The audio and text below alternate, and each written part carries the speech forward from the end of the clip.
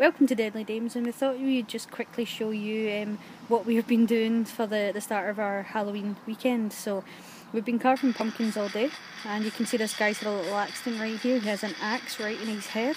I went a bit fake blood mental. Uh, we've got a wee guy up here as well. He's traditional pumpkin.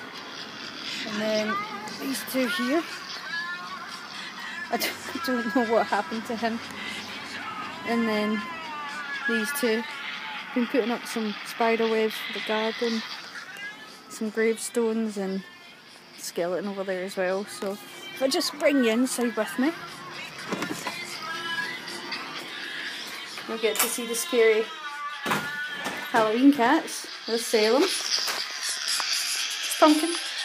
And they um, severed some poor sod's arm. Look at it.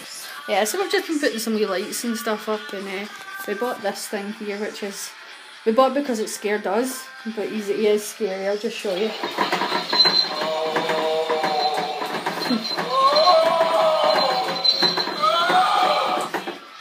yeah, so we're ready for Halloween and we've got a mega pile of movies to watch. Got Ratty here as well. Mega pile of movies to watch, so uh, thought we'd just do this little intro into us decorating. We've still got a wee bit left to go and uh, hopefully you enjoyed this video and liked our pumpkins and if uh, you did, please leave some comments and uh, please like and subscribe. Take care.